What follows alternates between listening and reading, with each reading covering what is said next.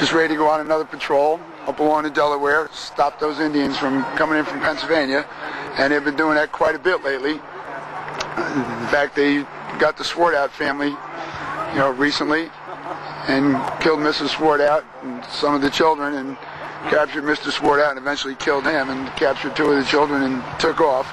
Uh, hopefully, we'll recover them soon. I understand there was a raid at the Hunt family too. That happened at the same same night. Eventually, they stopped at the Hunt place first, and Colonel Hunt wasn't there. And then they came over to the Swartouts after that. I see. Tell me your side of the story here.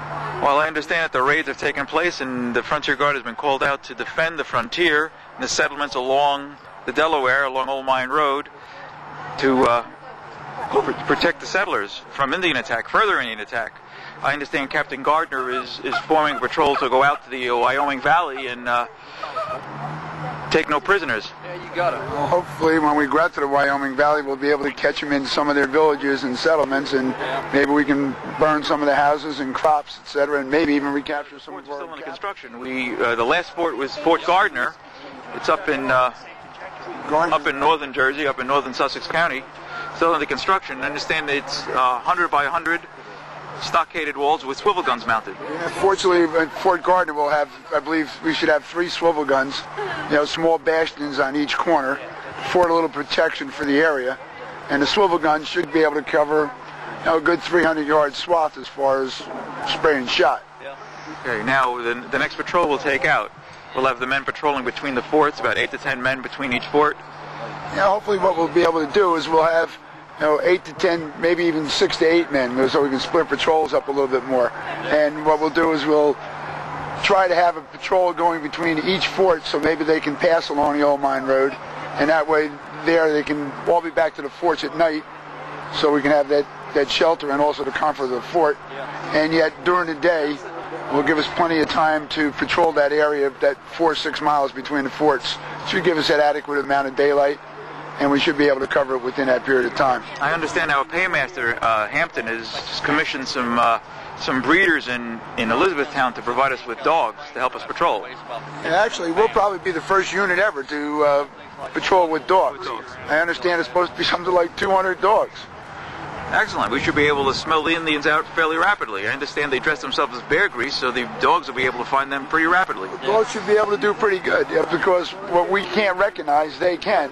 And I understand the only ones they're trying to recruit are large, mean dogs. At least that's what I've seen in the communications that we've gotten so far. Excellent, excellent. Uh, What about this guy that's been uh, attacked a bunch of people uh, on Old Mine Road? oh, that was uh, Sergeant Sergeant uh, oh Ward was attacked just uh, a couple of days ago on Old Mine Road and killed. Just just just down down below uh, Fort John. Yep. He was on patrol and was attacked by a small band of Indians. And then Van Tile, I believe, chased a group out onto Cherry Island and they had a little confrontation out there. That Indian over there, I believe there was, you know, Van Tile had two men killed. And what they did is caught some Indians returning from a raid On the way back to Pennsylvania. on the Pennsylvania. way back to Pennsylvania. What they did is had a raft out on Cherry Island, and or building a raft on Cherry Island to get across the rest of the Delaware. And what Van Tile did is actually set up an ambush for him.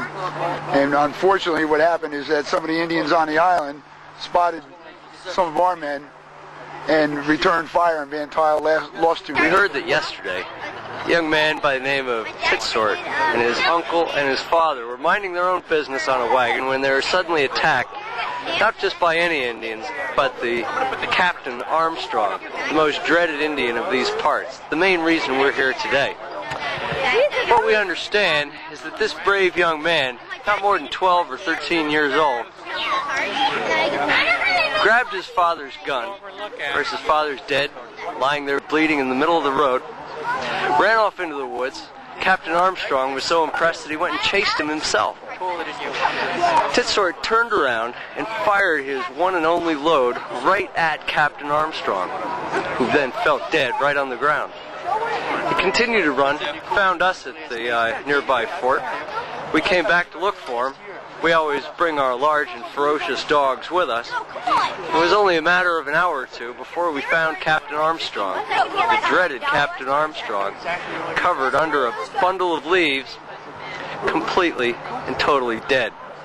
What we did then, having finally captured Armstrong and taken him out of the, uh, taken him out of our, of our defensive picture, is we scalped him. And we sent that scalp. In fact, in fact, the scalp is still over there because our rider hasn't left yet. But we're going to send Captain Armstrong's scalp right to Perth Amboy to show the governor what the problem is out here. You see, every weekend it seems that there are parties of Indians who come raiding into these settlements. We have hardly a moment to breathe. We never know when they're going to jump out of the woods. The next person to be captured, or shot, or scalped could be you. give it to.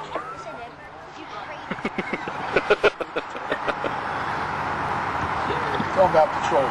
Hmm? Talking about we patrolled the Delaware, you know, canoes just the, this Well, we done 52 mile on the Delaware River, uh, looking for Indians. Uh, we didn't find any. Uh,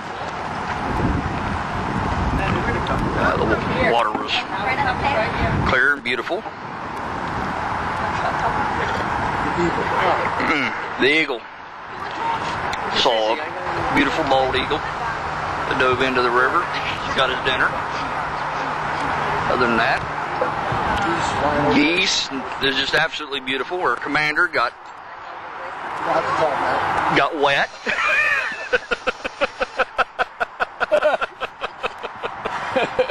Certain things you don't have to tell, Ted. Why? It was funny. You don't look like the kind of guy that would turn away even bad food. Oh, me, no. Nope. I'm well fed. Each time, each newsletter tried to write up something about the history of one of the buildings or of the area, uh, about Jonathan Hampton and his connection with the uh, forts along here during the French and Indian War.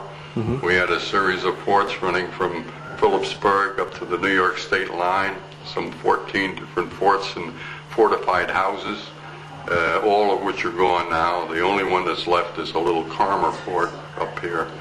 Uh, all the others have been bulldozed down or fell down. Uh, we recently had a, a dig up here on the hill at Fort Shapanack, which was one of the original four forts that was built during the, that period. Um, they've uh, uh, the dig and it was trying to locate uh, the foundation of the John Rosencrantz house that was within the foundation, within the stockaded area. And uh, we think that we found the foundation, which uh, confirms the fact that that is the fort site.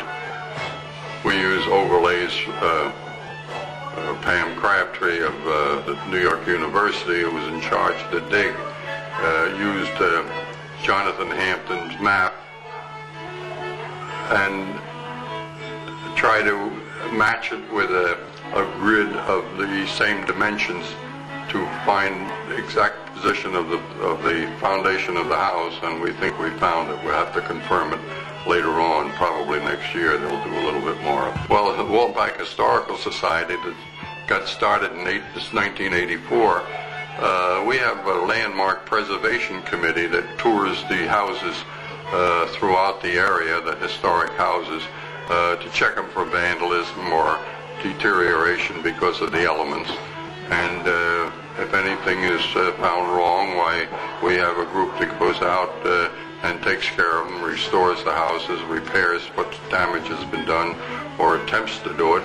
And if it's necessary, it's turned over to the park, and they do have contractors come in and take care of it. We can't do it Are, are there some good books available in the library, or the library, or in the bookstore people can buy on? Uh, Well, we have books that uh, we have published, particularly one on this house uh, called uh, the, about the Van Campen house. We republished the Minisink book. Uh, we re- republished the book on the River Road over by Hanover in Pennsylvania.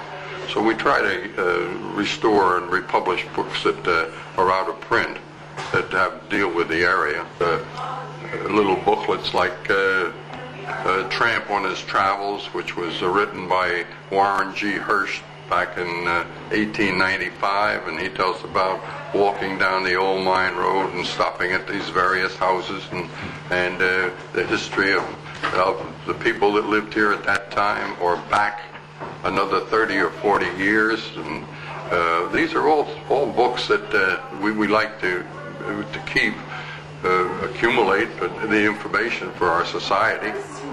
Uh, newspaper articles. We get we research and take dig out newspaper articles. Uh, when the park took over this house, uh, they had the history of it. That it was built in the 1750s. Uh, we found out from a newspaper article of 1908 that we dug out that the extension on the house had a date of, of a uh, cornerstone in it, dated 1742.